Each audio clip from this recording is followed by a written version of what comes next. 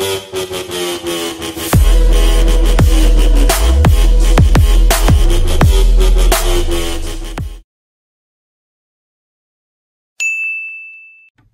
everyone, this is the Hunter Collector here with another action figure review, and here we have the Marvel Legends series Retro Spider-Man Wave uh, Spider Armor Mark 1.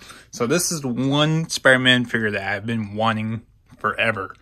It's always been like one of my top five uh, wish list items uh, for, um, I need to do another wish list thing for this year, but that's for another video, but yeah.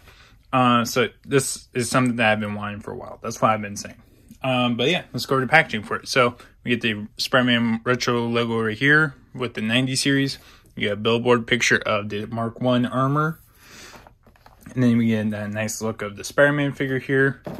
Nothing on top, bottom, or um, sides. And then here is the back. You get the billboard picture here of the Spider-Man Mark 1. Here is the Spider-Man logo again. Here it shows how you can switch off the hands. Here's the description of the figure. If you guys want to pause and read that, you can. And then here's all the figures in waves. So we got Hammerhead, uh, Black Suit Spidey, which we already did. We got Hobgoblin, Ben Reilly Spider-Man, and Shocker. Here's a DCPI for whoever wants to grab that. But besides that, uh, let's crack them open. Okay, here is the Spider Armor Mark 1 figure out of the packaging here, and I already played with it a little bit, and I love it. It's awesome.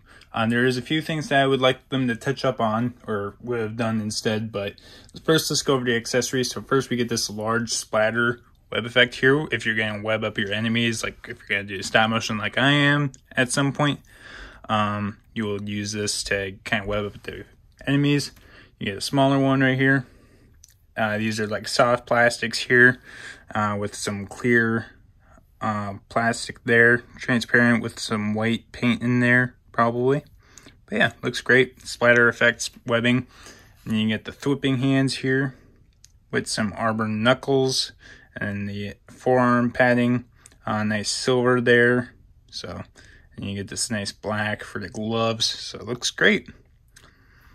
And then those are the flipping hands. I wish we got wall crawling hands, but we didn't. So that's a little sad, but oh well. They don't really like to give us wall crawling hands.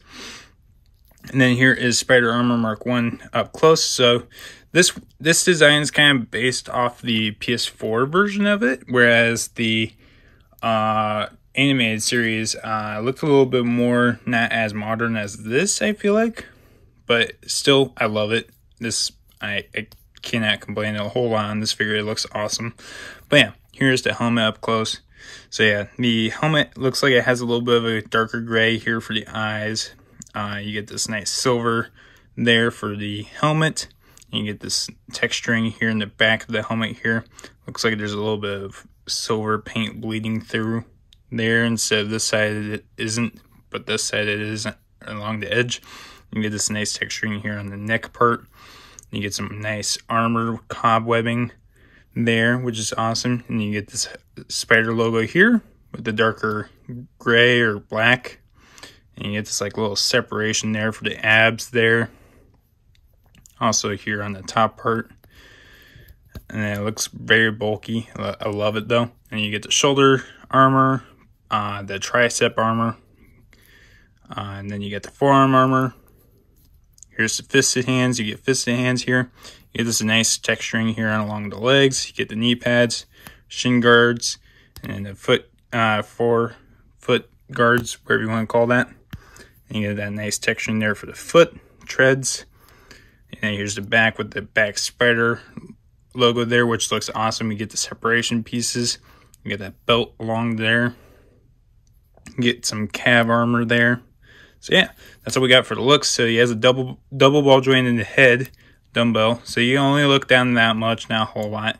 Look up just that much. I wish they kind of did the the slot thing there like they did with the other retro figures.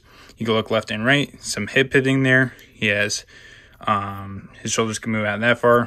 360 rotation there. He does not have butterfly joints, but it's all well. He's a bulky figure, so that doesn't matter.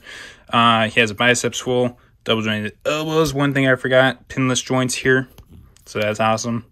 Wrist can hinge down that far, up that far, 360 rotation. And he has an ab crunch, goes forward that much, backward that much. He has a waist swivel, 360 rotation around there. Legs kick out that far. Forward quite a bit. Backwards a little bit. Thigh cut, double joint knees. Also pinless joints. And then ankles hinge down that far, up that far. Nice ankle pivot. So yeah, that's the Spider Armor Mark 1 for you. So I love this figure, like I said. Um, it's one of my favorite Spider-Mans in that animated series, and then one of my favorite suits in the Spider-Man PS4 game for the DLC. So I was happy to see that, and I'm also I was super excited for them to do that. This is one of the figures I had to get. So yeah, uh, they did a good job on this figure and the de uh, details and stuff like that. The only problem I have is that I wish they went. Well, I think it would be pretty tough to do the retro figures, so the ab crunch of the hips and then the ball joint, but especially with the bulky armor there. So I understand why they didn't do that. But the head, I feel like they could have done something for the head. He doesn't want that. He does not want to look up or down a whole lot. So yeah, and the butterfly joints, it's kind of like whatever, kind of, because then we're would have ruined the chest piece there for the armor. So I definitely understand that part. But the neck, the neck movement could need a little bit of work there. But besides that, they did a really good job on this figure. Um, like I said, uh, they had to sacrifice the articulation for the aesthetic look, so I cannot blame them on there. Um, but yeah, they, he did come with a decent amount of accessories. I wish we got wall crawling hands, but like I said, articulation's not the best on this figure because of the bulkiness. But uh, yeah, I recommend you get him um, because this is the only Hasbro Spider-Man armor that we uh, Mark One armor. I do have one from like back like when I was like five. Um, I do have the Spider Armor Mark One figure from back then, but his uh, one of his hands fell off. But I do have him in my collection. But yeah, recommend you get him. He's awesome. But besides that, that's all I got for this figure. If you guys want to check out my uh, TikTok, Twitch, or Instagram, go ahead and check out my Linktree in my description. But besides that, thanks for watching.